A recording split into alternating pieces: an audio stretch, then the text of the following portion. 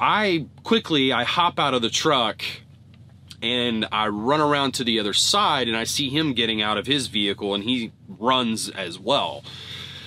And as I turn, as I turn the corner of the truck, my heart just sank. And I thought, holy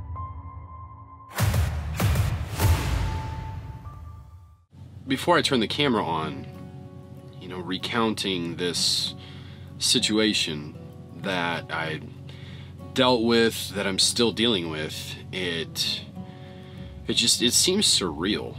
You know, it uh, I'm not, I'm not trying to be overly dramatic here, but this was uh, this was quite possibly the scariest thing that's ever happened to me uh, because you know it's not just you know if I think about if I think back through the traumatic things that happened in my life you know whenever I blew out my knee uh, my football career was over. Um, you know I caught a uh, I caught a staph infection and I was in the hospital for 11 days. That was really scary you know and I'm sure that there's others that you know that I, I, I can't really think of right now but you know all of those things happened and I didn't have you know I wasn't I wasn't married. I, I didn't have kids. I didn't have a house you know so uh, you know an entire household to support. And as I was watching what was going on I was just I was in disbelief. There were so many things that were racing through my head that and and now as I you know right before I turned the camera on I was you know kind of recounting the situation you know to prepare for you guys to tell the story that it's just it's it's like it's hitting me all over again and it's hitting me differently this time uh, I've been watching a lot of YouTube lately, as I'm sure probably a lot of you have been, especially if you you're self-quarantined or if you're kind of forcibly quarantined at home. And you know, there's a lot of real, there's a lot of positivity going on. There's a lot of people coming together. You know, the best of humanity is really it's it's showing itself. It's showing out, and it's great to see. It's heartwarming, and it's at the same time, though, it's heavy. You know, it feels really heavy. Uh, so we're not gonna, you know, we're not gonna to dive in uh, to that in this video. Uh, in this video, I hope you get some entertainment out of this. Uh, if you're, you know, a, a, maybe a company truck driver, or if you're not even a truck driver, you know, look at this video and uh, hopefully for for some entertainment and or maybe some, maybe think about you know, what truck drivers go through on a daily basis. And maybe next time, um, whenever that truck driver is, is going slow in your lane, maybe cut him a little bit of slack. But anyway, so let's rewind to yesterday. I was driving, I picked up a load yesterday and I was driving out of, coming out of Washington and this load happens to be going all the way to Mississippi and it's a uh, it's a load of a load of lumber, so it's pretty heavy. And I was climbing a pretty decent hill, um, you know, coming out of uh, Yakima, Washington. And this hill, it was, oh, what time was it? It was roughly four o'clock in the afternoon. We'll call it that. And I was, as I was driving along, I saw this, you know, it was a van or an SUV and they they slowed down as they were passing me.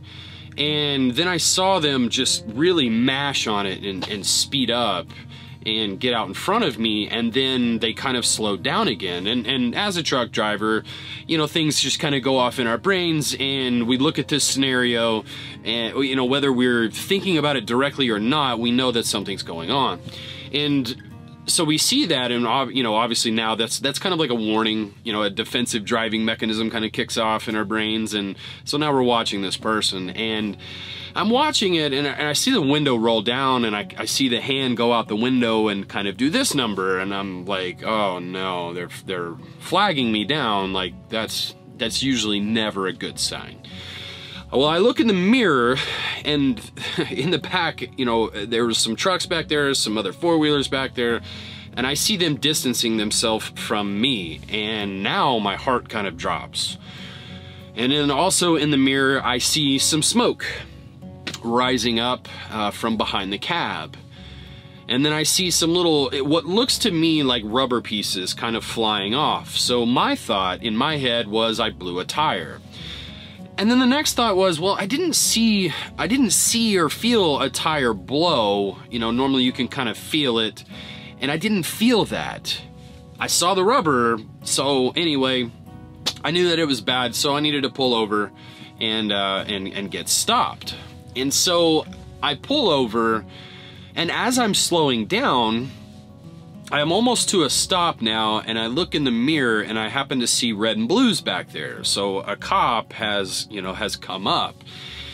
And instantly I knew that, you know, there's definitely something going on. The way that as, as quickly as he came up onto me, uh, something was definitely, definitely wrong. You know, it's this wasn't a, oh, this truck driver blew a tire, let me go see if everything's okay, let me kind of block the road a little bit. No, no, this guy pulled up on me.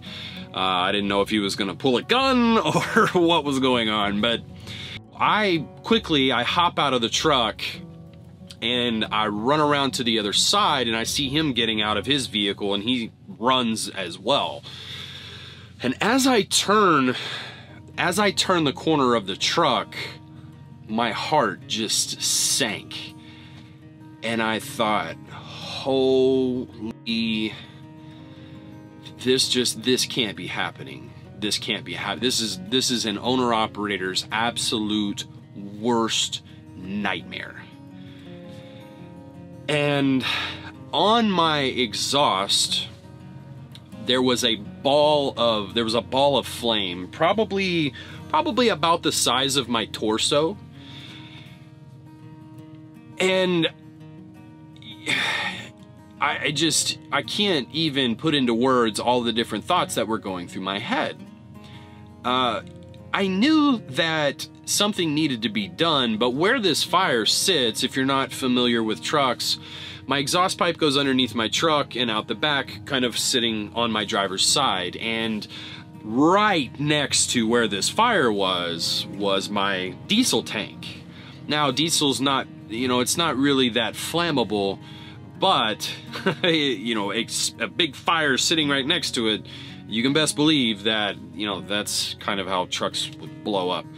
But anyway, so that was a thought that was in my head and, and, you know, my adrenaline was just flowing and my brain was moving a thousand miles a minute. And I, I, you know, I asked the officer, I said, sir, what, you know, what should we do? It, it just didn't even register to me to run and grab my, my fire extinguisher. So that was his suggestion. Let's grab our fire extinguishers. I'm like, oh yeah. so I run back to the, uh, the truck and kind of had the wherewithal to grab my wallet and my phone. Um, you know, everything else, my my laptop, my tablet, my you know, whatever, my camera, you know, all this stuff, all of that stuff went through my head, but just needed the essentials and then grabbed the fire extinguisher, booked it back around, and the uh, the officer and I, who he did not want to have any part in the video, and hey, I don't blame him, that's fine, but I greatly, greatly appreciate it if you happen to stumble across this video. Uh, we put out the fire and we blasted it, and thankfully, it you know whatever whatever it was fell down to the ground, so it kind of fell off of the top of my exhaust.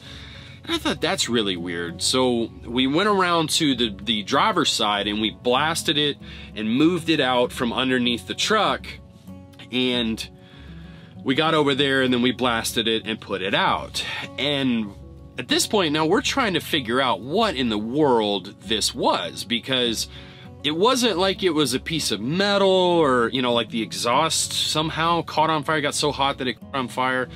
Um, you know, it, it, it, looked like it was some type of insulation, some type of material like that, that had gotten caught. But it didn't really make a whole lot of sense because it was sitting on top of the exhaust pipe. So, you know, I, I like, I have, I my mind is just blown here. And as we're discussing things, uh, it starts to smolder again as it was sitting there.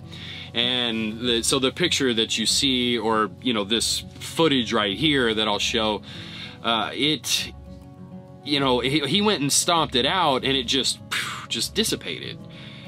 And it's like, okay, so yeah, it was definitely some kind of material and that it's really strange that I picked it up. It's really strange that this fire started.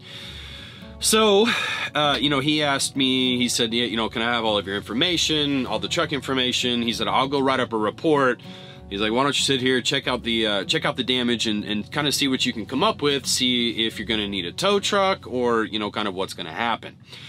So as I'm looking, I look over and, and the, pretty much all of the damage is inside of the frame rail. Okay, now inside of this frame rail runs a bunch of airlines and a bunch of electrical lines. And when I mean a bunch, I mean a bunch, like 20, 30, something like that, a lot.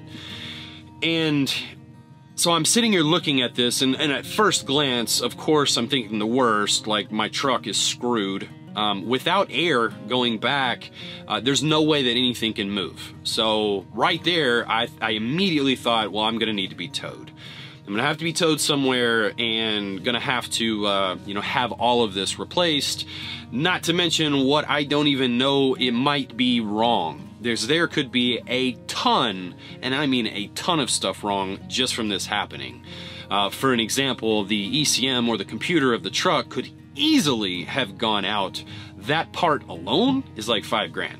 So, you know, you get the picture. This could have been multiple, multiple thousands of dollars on up into the teens. Anyway, I digress.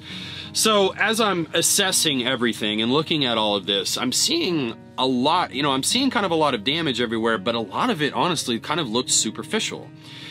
And I thought, well, that's weird um, that, you know, maybe it just didn't go long enough to kind of burn all the way through. Uh, but unfortunately, it did get to uh, four uh, quarter inch airlines and one of the, uh, like the 3 eighths or 3 quarters inch uh, airline. That would be the big air that's running back from, from the truck. I really couldn't see any other damage other than that. Just looked like five airlines. And I checked it and I thought, okay, so it registered to my, you know, the thought process kind of registered and said that, uh, well, if it's only air, why don't I try turning on the truck? So I went and tried to turn on the truck. And sure enough, fired right up. Fired right up. There was, uh, you know, my, my, none of my engine lights came on. No, you know, no codes popped up. Nothing. I mean, of course I had no air, but you know, it was just, my mind was blown at this point. You know, I, the way that I look at it is, you know, am I unlucky that this happened? Sure, but that's not how I'm looking at this whatsoever. I'm looking at this as I'm extremely lucky that what happened is all that I'm that happened and I'm dealing with now because there you know there there's there's only a few scenarios here and the, the first scenario is we catch the fire extremely quickly, we put it out, there's no damage, no harm, no foul, down the road motors. That would have been great. But, you know, or the damage that kind of happened, which was pretty light. All of the rest of the options here would have been absolutely detrimental because these airlines, had I been on the road at full speed another less than 30 seconds, I don't even know how much, how long, but less than 30 seconds, those my brakes would have absolutely locked up and Lord knows what would have happened at this point. Um, you know, there are a ton of different scenarios that could happen and none of them end very well. So what happened is kind of best case scenario, the way that I'm looking at it. And, you know, that's really lucky. By this time, the officer was done and he came back up. He gave me, he gave me the uh, place to go get the uh, police report if I need it, if I need to make an insurance claim. And, you know, looking at this, it looks very likely that this is going to definitely add up to far beyond my deductible. So I'm, you know, I was thinking at the time I'm going to have to do that. Well, the officer said, he said, look, I can call out a tow truck for you. He said, but you're not going to like the price. It's probably best if you find it, you know, find one yourself. He said, you've got 24 hours to move the truck. He said, it can stay here for 24 hours, but whatever you choose to do with it, feel free. And I was like, cool. So I've got some time to kind of process. I thought I was going to have to make a, a quick decision and, you know, move the truck. So, uh, oh, by the way, forgot, he had called the fire department. Fire department came out and they looked at it. They were just as puzzled as everybody else. Uh, they said, okay, well, everything's good. They uh, went about their business. So, uh, they were very quick to respond too, so that's much appreciated. Anyway, and so the, the officer, he left, and I, you know, now that he was gone, I, I put out my triangles, and I went back to look at the damage, and I, that was all that I could see was five airlines. And I thought, okay, well, let me...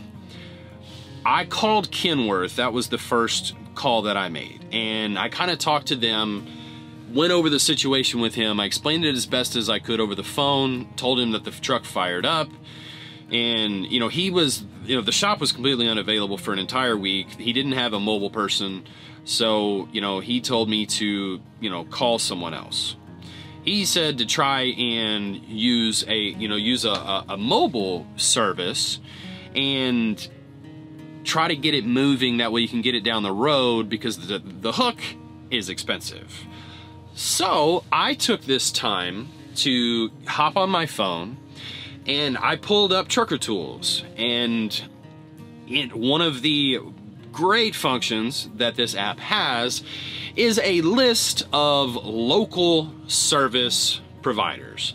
And I clicked on that, you know, some uh, some service guys popped up, boom, called the first one, didn't like what he had to say, boom, called the second one, loved what they had to say, and uh, it was that quick. I mean, I, it was just open the app, click of a button, within five seconds, I had a list of people that I could call to take care of my situation.